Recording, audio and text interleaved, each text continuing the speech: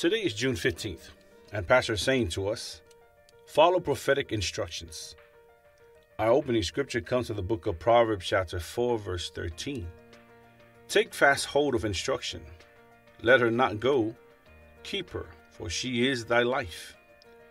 In 2 Kings, chapter 13, we find a very interesting story concerning the prophet Elisha and Joash, king of Israel. Joash was having trouble with the Syrians and wanted victory over them. So he came to the man of God, Elisha.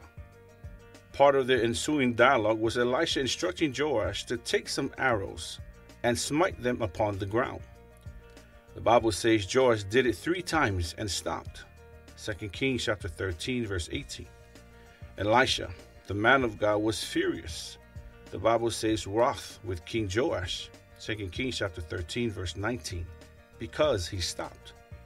He should have kept on shooting the arrows until the prophet told him to stop. Shooting the arrows only three times meant he was only going to defeat Syria three times. Whereas God's plan was something far better. Joash didn't know that it mattered how many times he shot the arrows. The prophet didn't ask him to stop, but he stopped by himself. Here's what I want to get across to you. Sometimes, many ignore very important things without knowing it, such as paying attention to prophetic instructions, which is part of God's guidance for His children. A prophetic instruction is an instruction of the Spirit that's given to you by the Spirit. It's directed to you for you. It could come to you directly by the Spirit of God from within you or through someone whom He's given some leadership influence over your life.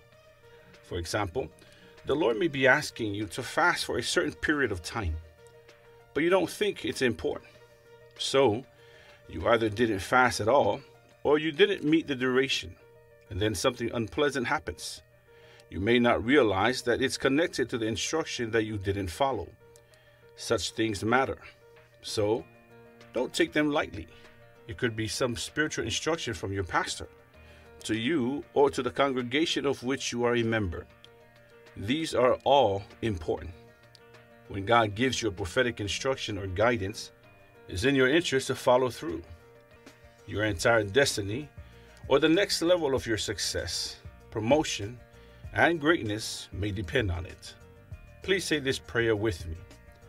Thank you, Lord, for the privilege of being guided, counseled, and instructed by the Holy Spirit, and to receive your guidance through those whom you've chosen and placed over me to bring me your word. Thank you for leading me in the path of greatness as I yield to and follow the specific instruction to me from the Holy Spirit. In Jesus' name, amen. For further study, please read Proverbs chapter 4, verse 13 of the New International Version, 1 Corinthians chapter 1, verses 24 to 25, and Proverbs chapter 8, verse 10. For the one year Bible reading plan, please read Acts chapter 5, verses 12 to 42, and 2 Chronicles chapters 23 to 25.